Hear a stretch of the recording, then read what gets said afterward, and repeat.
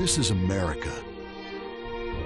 Our fires burn bright, especially in the trash barrels that keep people warm, or after a riot because there's no jobs. America is hurting.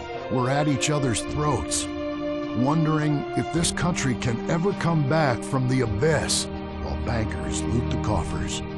The thing about steel, it's hot and cold at the same time, like a woman or Lady Happiness.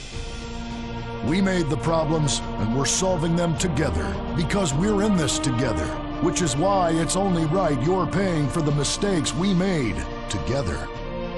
Subpar cars and overly entitled executives. Together, we're holding on to the dream. That dream is luxury and a gas guzzling luxury car created in a nation that's 95% condemned. We haven't forgotten what America wants. A hunk of overpriced shit that goes fast and gets you vapid pussy. Bravado. United we stand. Together we fall.